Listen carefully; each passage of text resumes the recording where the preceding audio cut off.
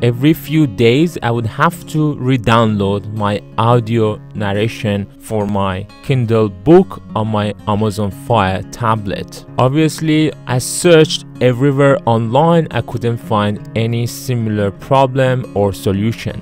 So as an engineer, I start observing to see what could cause Amazon Fire tablet to ask to re-download the same audiobook again and again even though it was already downloaded once before. So in this video, I will show you what you can do that I think would help you to get rid of this problem for once and all. So let's get started. The first thing I realized was that it asks me to re-download whenever I get a notification on my Amazon Fire. For example, I get notification from Amazon Prime saying that an item has been dispatched and as soon as I get such a notification, I would have to re-download my audiobook as well. So there must be something related to the notification and this problem. Therefore, we would need to go to the notifications. To do that, scroll down your top bar and if you see a notification, hold your hand over it and then you should see a gear icon and then select the gear icon. Then it will take you to the notification settings for Amazon. And here simply turn off all the notifications except the ones that are related to your account.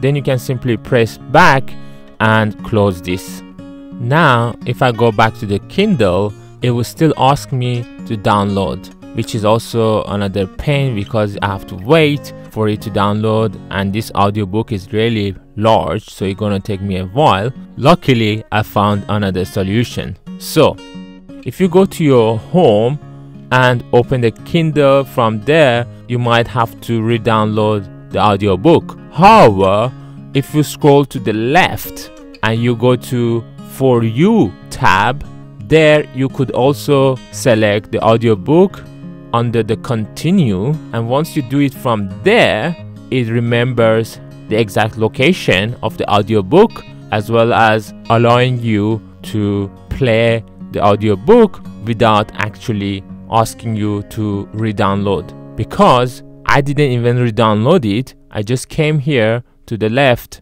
side which is for you and then I continued opening the app from here and without even needing to re-download it start remembering that it had already downloaded before. I know so strange but this is the solution that worked for me and I hope it would work for you this is such a niche issue and there are no other solutions that I found on the internet. So if you find any other solutions please share it in the comments below. However I sincerely hope this would also work for you